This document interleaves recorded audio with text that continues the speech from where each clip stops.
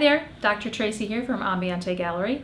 I wanted to take a moment and talk about shoulder pain. Shoulder pain is a surprisingly common complaint as chiropractors see, but what might, might surprise you is that um, most people who come in with shoulder pain are not Major League Baseball pitchers.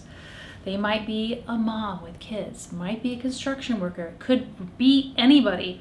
There's one thing that I see in common in almost all of these cases, and that is there's pinching or pressure on the nerves from the neck, the cervical spine, that's cutting off nerve supply to the shoulder, causing shoulder pain. So even though the person feels pain in their shoulder, the real problem often comes from someone's neck because most people have had a car accident or some kind of trauma that sets them up for shoulder pain. The good news is when you get chiropractic care, a shoulder problem quickly goes away when you get to the root of the problem in the spine. So uh, if you know someone that's having a shoulder complaint, always have them see their chiropractor first. Um, give us a call anytime and we'll get them a VIP spot in our clinic to have their shoulder evaluated. Thank you. Happy day.